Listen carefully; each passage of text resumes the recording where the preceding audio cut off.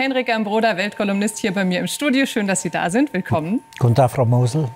Herr Broder, Unsere Gesellschaft tariert so ein bisschen aus gerade. Wo sollten wir sensibler sein? Wo sind wir vielleicht zu sensibel? In diesem Fall jetzt einzelne Kostüme, die für Menschen als diskriminierend erachtet werden könnten, zu verbieten. Sensibel oder zu sensibel? Erstmal die Frage, hat sich schon jemand beleidigt gefühlt? Ist irgendjemand aus der Gruppe der potenziell Beleidigten nach Mannheim gereist und hat gesagt, mit mir macht ihr das nicht. Ich habe davon nichts gehört. Haben Aber, die das denn schon mitbekommen, ist die Frage. Oh, ja, genau. Deswegen müssen wir vielleicht länger darüber reden. Dann kriegen Sie es alle mit.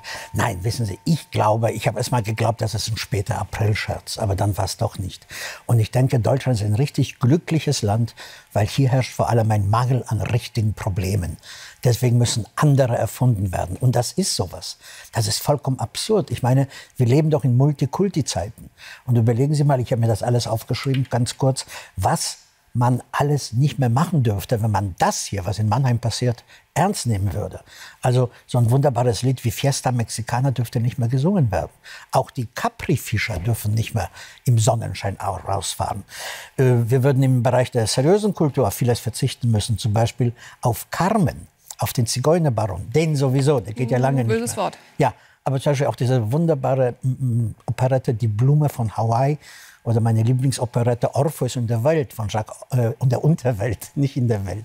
Aber Herr Bruder, das sind ja jetzt Beispiele, die Sie bringen, die kommen aus einer bestimmten Zeit und die sind Zeugnisse einer bestimmten Zeit. Deswegen ja. muss man die ja ein Stück weit auch anders diskutieren als hier jetzt im Heute eine Tanzgruppe, die tanzen möchte und sich dafür Kostüme auswählt, die sehr plakativ sind und die ein Aussehen darstellen, für das manche Menschen eben diskriminiert werden. Das ist ja ein Unterschied, ob wir jetzt von Carmen reden oder jetzt von Seniorinnen in äh, übertriebenen Kostümen. Ich habe immer noch nicht verstanden, warum Seniorinnen, also Damen in meinem Alter, sich nicht als Mexikanerinnen verkleiden dürfen, worin A der gesellschaftliche Schaden und die psychische Beleidigung liegen würde. Ich sehe da keine.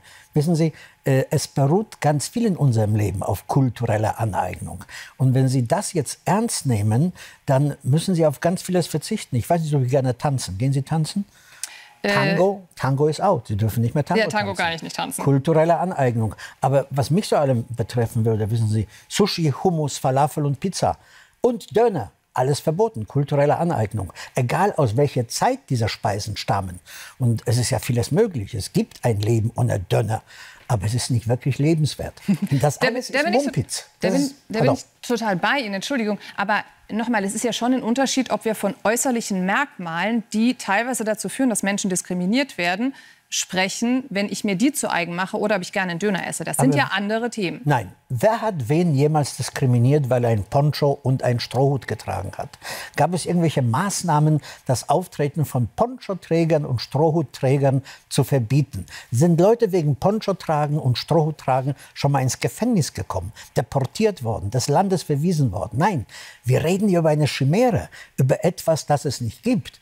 In einer Gesellschaft, die 90 Prozent Energien da reinsteckt, Unterdrückte, Diskriminierte und Benachteiligte zu finden. Und zwar meistens dort, wo es sie nicht gibt. Jetzt muss man, ich, ich würde gerne, es gibt in dem Zusammenhang ein Zitat, das, Zitat, das glaube ich ganz gut passt. Das ist der Titel eines Buchs, herausgegeben von Greg Tate, Everything but the Burden.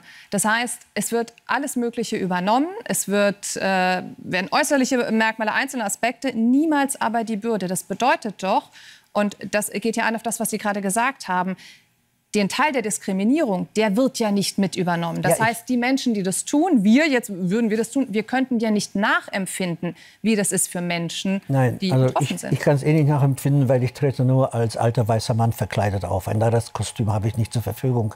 Aber ich weiß nicht, wo die Bürde darin liegt. Wissen Sie, es ist ja so, selbst wenn Sie sich als Indianer oder als Schwarzer oder als Jude verkleiden, also die klassischen diskriminierten Minderheiten, das ist Teil unserer Geschichte, das ist Teil unserer Kultur.